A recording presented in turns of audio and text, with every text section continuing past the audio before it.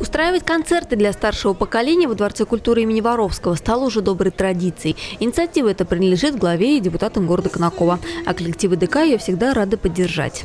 Этот праздник ваш, наших горячо любимых бабушек и дедушек, хранителей очага каждого дома, ведь каждая семья держится на любви и памяти старшего поколения.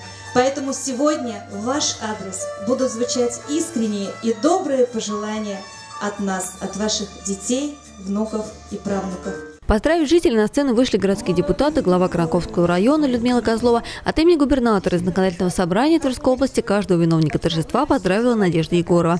А глава города Валерий Максимов не только пожелал нашим жителям здоровья и долголетия, но и поблагодарил за активную жизненную позицию. Вы, вот как родители, э, значит, опекают своих детей, и создают семейный очаг, создают семейное гнездо, так вы, значит, своим, своей позиции опекайте наш город, создаете этот город, делаете этот город, не даете городу, как говорится, ударить в грязь лицом. Спасибо вам огромное за это.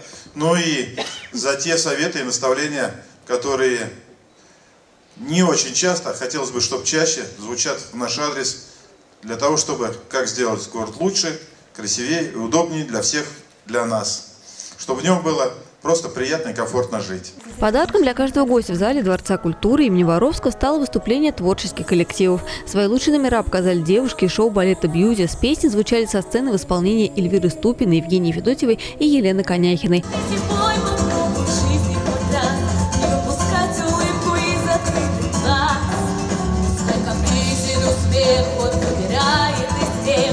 может первый посмеяться